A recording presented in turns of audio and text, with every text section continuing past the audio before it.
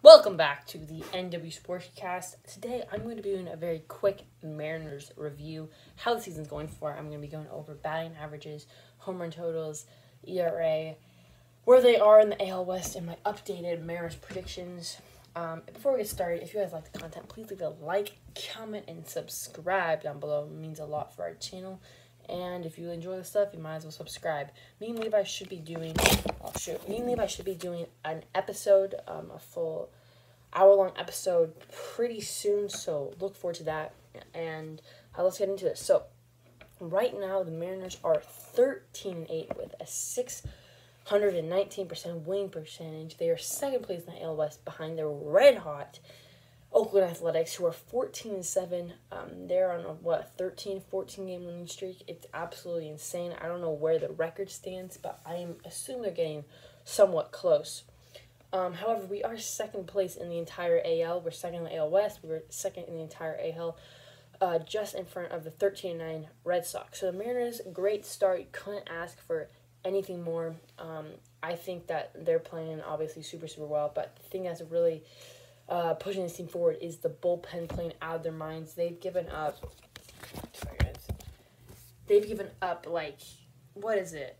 Like two runs in the last like how long? In the last like twenty games or something. It's absolutely insane. They're doing super super well. So um, shout out to like Graveman and all those guys um, who are just pinning their heart out. So Right now, we have a leader in home runs by a lot is Mitch Haniger. He's leading the team by with five home runs compared to Ty France, who has three, Marmolejos, who has three. Very good surprise there. And then we have Kyle Seager and Taylor Trammell, the rookie, is getting some power on board with three as well. Evan White has one, and Sam Haggerty, the guy that doesn't get as much playing time, has two home runs. Dylan Moore is off to a kind of rough start with only one home run, and then Braden Bishop, Jake Fraley, and then obviously Kyle Lewis hasn't played that much, has uh, zero as well. We go to average, and at the top, you won't be surprised. Maybe you will be. It's Ty France. Our boy Ty France is hitting 320. Mitch Haniger is shortly behind 291. And then Kyle Seager, 247. And um, other than that, guys, we have JP Crawford 235, Taylor Trammell at 155, and Dylan Moore at 107. And then everybody else has not qualified so far for batting average. So it sucks that we have Taylor Trammell hitting 155. Um, he does have three homers in the year, and Tyford's hitting 320 makes up for that. So that's that's good to see. Then we have RBI totals. Um, this is getting hits when it matters, and you won't be surprised to see the veteran on top of this list being Kyle Seager, and then the second oldest guy being Mitch Haniger with 17, and then again Ty France uh, third with 12. If Ty France is a rookie, if, if Ty France was a rookie, I don't know if he's considered a rookie this year. Uh, he would be in contention for rookie of the year. He's playing out of his absolute mind. And then you have guys like Jose Marmolejos with eight, Taylor Trammell with nine, Dylan Moore six, Evan White six, etc. Kyle Lewis still a zero. I want to see Kyle Lewis get going. Obviously, he's only been here for about a little under a week, but it'd be great to see that. So, now let's see we have runs batted in, um, or just runs. We have Ty France at 17, Mitch Haniger 16, JP Crawford at 11. JP Crawford has some speed, not surprising there. And then hits, we have 25 hits for Mitch Haniger, 24 for Ty France, 20 for Kyle Seager, and 16 for JP Crawford, followed by 11 for White. Okay, now let's go to games played. Um, right now, we have J.P. Crawford at 21 games, tied with first with Ty France, Mitch Haniger, and Kyle Seager. And that's kind of what you expect, minus Ty France. You in, Going into this year, into the offseason, you think Ty France may be a little bit of a utility guy. Um, obviously not, has played uh, every single game, I believe, this year. Then you have Luis Torrens, Taylor Trammell, and Evan White with 18 games. Luis Torrens has turned into our starting catcher. Um, and Tom Murphy, six games behind him now um, with only 12. Brandon Bishop has 8, Jake Fraley with 5, and Kyle Lewis with 3. Let's go to our pitching. Chris Flexen has 2 wins, Anthony Misiewicz has 2 wins, Rafael Montero has 2 wins, and then Justin Dunn, Marco, Kendall Graveman, Lee Newsome, Justus Sheffield, and Drew Steckenrider, and Will Vest all have a win. Yusei Kikuchi, um, although been playing really, really well, does not have a win, and then obviously um, you have guys like James Paxton getting hurt. That sucks. And then here we go. Then let's go with ERA. This is an important one. Chris Flexen is in the lead with a 2.74 ERA. Chris Flexen's been playing out of his mind, guys. Um, I'm saying Chris Flexen, the ace, Chris Flexen.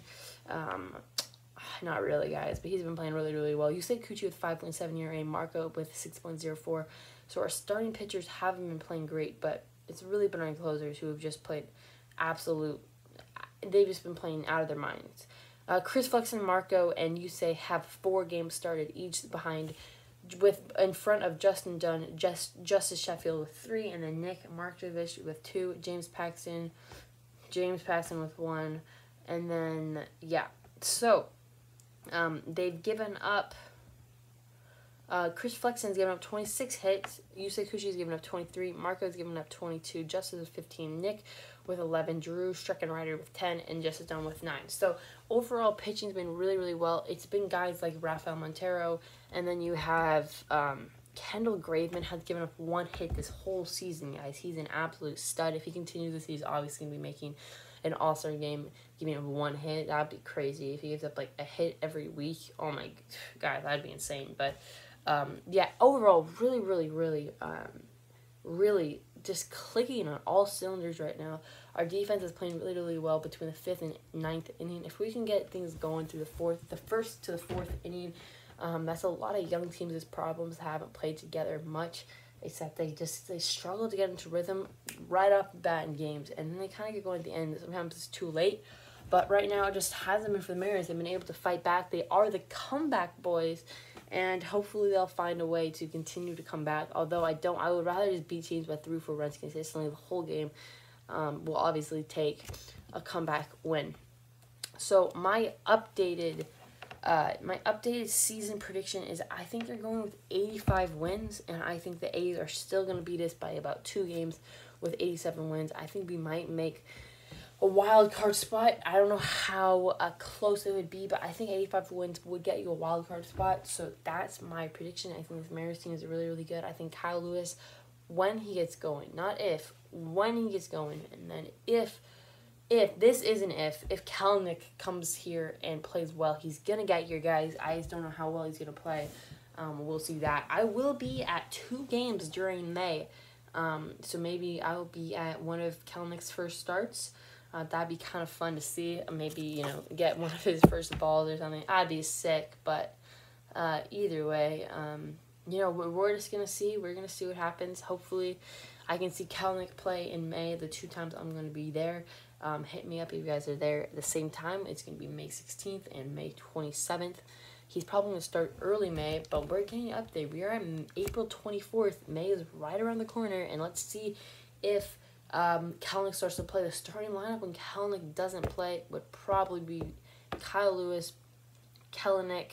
Um, probably wouldn't be a starter. You'd probably have uh, I don't know, guys.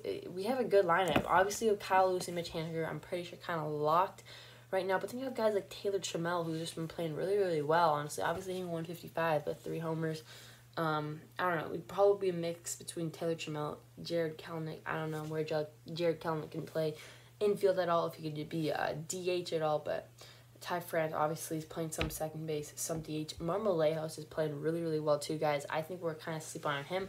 He's a good, um, I think a good, not sleeper pick for, um, but a sleeper pick for kind of just being a role guy for the next three or four years. I think he should hang around our bench and be in when we need him the most. Um, he's a power hitter, and it's good to have power hitters in MLB, obviously. So um, yeah, so that uh, that's pretty much it, guys. We got Kyle Lewis, we got Kyle Seager playing well, um, and then we got, sorry, we got Kyle Lewis, Kyle Seager, Kyle Seager playing well, Ty France, Mitch Haniger. If I was gonna do my rankings today, it'd be Mitch Haniger. Then we got Ty France. Then we probably are gonna go with Kyle Seager, and then after that is, I would probably go Kendall Graveman.